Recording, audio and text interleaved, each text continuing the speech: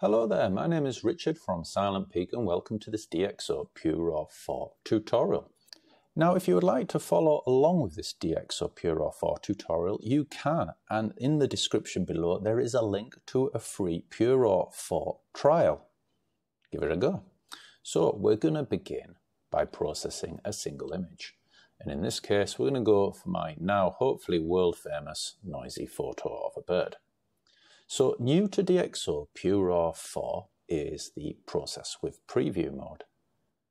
Now in terms of the technology, it's roughly the same as previous versions, but this time we sort of get to see in real time the effect of the changes that were made.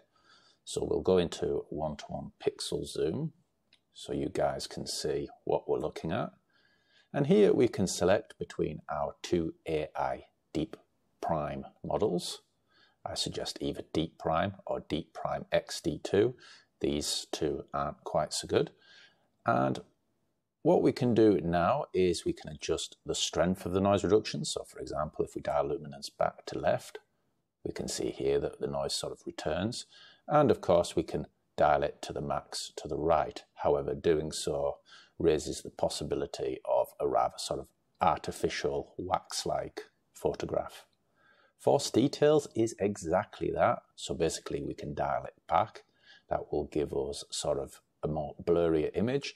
At the same time, if we dial it too hard, it can sometimes look a little bit sort of uncanny and CGI-like. So again, as always, we're sort of looking for a sort of nice balance between the two. We can apply our optical corrections. So here we have lens softness, so we can adjust from anywhere from soft, uh, which is what it sounds, it's soft, uh, all the way to hard, which again sort of looks a little bit strong for this particular image. So I'm going to leave it on standard. We can correct for vignetting, chromatic aberration, and lens distortion as well. Now also new to DxO Pure PureRAW 4 is smart lighting. So we can export our images as a DNG, a TIFF or a JPEG. And when we're exporting our image as a JPEG, we can apply smart lighting. Now this is a really nice feature straight from DxO Photolab 7. What it does is it rebalances your exposure by boosting the shadows while making sure the highlights remain unclipped. And what makes this feature so nice is, is it increases the likelihood that we won't need to take our image and edit, any, edit it any further in a specialized photo editing application such as Lightroom, Luminar, Capture One, whatever it is that you like to use. Destination here, we can sort of specify exactly where we want it to go. Uh, we can create a custom folder, but by default, what it will do is it will save our enhanced copy right next to the original file. Now, the file renaming tool has seen a few improvements. So here we can see that we have a preset, which I've created. We can create many more presets. And we have the ability to sort of type in um, specific text, but we can also insert metadata. So if your photo is equipped with copyright information, location, or of course metadata, uh, such as the lens, focal length, we can add these properties into our composition.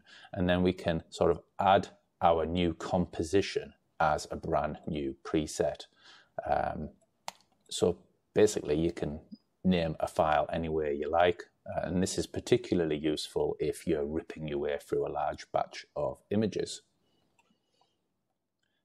Exporting, we have the option to do nothing, or we can export our image into Lightroom um, with the original RAW file or not.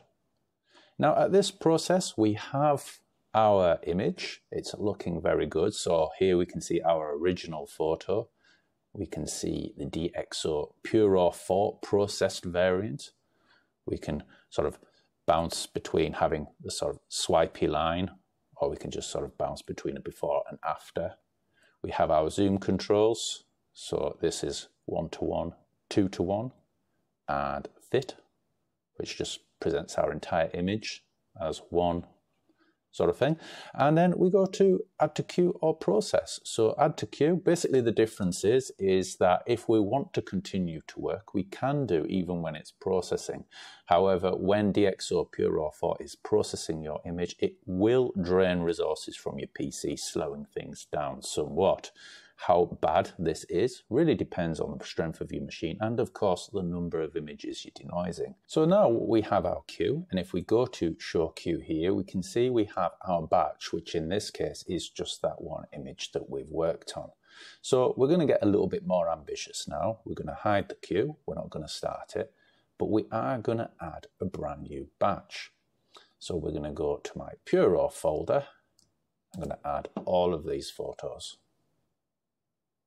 So the objective here is to process every single one of these images in one go. Now, there's nothing to stop us using the process with preview, but in this case, I'm going to go to regular process files. I'm doing this just by right clicking on process files, and that will bring up uh, our corrections and output settings.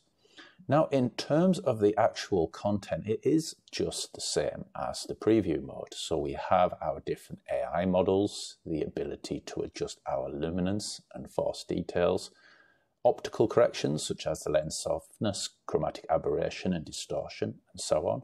And what I'm going to do is I'm just going to change these little bits because by changing it, it will actually save these images as a separate batch. So I'm going to keep lens distortion disabled. And then I have my output settings. And once again, we have our output format. We have the facility to apply smart lighting, change our destination folder and apply some kind of file naming convention. I'm going to stick with these settings and hit apply and add to queue. Now, like before, I could have begun processing immediately. I just didn't want to this time. So now we have two separate queues. We can see we have our first image right here, and we have our separate batch. The reason why it's split into two batches is because the settings that we applied here differ from the select settings that we applied here. At this point, we can sort of remove any particular image from the batch. I'm just going to remove one image and then another. But at this point, I am going to begin all batches. So here we go, we're going to press play and we will see at this point our batches being blasted through. So what I'll do is I will fast forward this process because you guys don't really want to see this. And that's it, our processing is done. Now we have a few options. We can go to view results. We can go and see the files in Windows Explorer. This is a, Windows demonstration. And we can sort of export to a photo editing application such as Adobe Lightroom, or we can select via a file path to our other favorite photo editing application. Here we can double click on our image. We can have a look, see what it used to look like before and after. So let's zoom into our bird. Here is our bird before, here is our bird after. Quite a meaningful improvement there. And that is pretty much it. Now, like I said at the beginning of this video, you can try DxO Pure Raw for free. Uh, a 14-day trial, and there's a link to that trial in the description below. And if you would like to know a little bit more about DxO Pure Raw 4, you can visit my YouTube review. Alternatively, you can head over to Silent Peak, see my DxO Pure Raw 4 review along with samples and comparisons, or go straight to the top and visit my best noise reduction software shootout. If you like this kind of content, please do consider supporting my channel and subscribe, leave a comment and like. You guys know the drill. Anyway, my name is Richard from Silent Peak. Hope you found that useful and have a great day. Bye bye.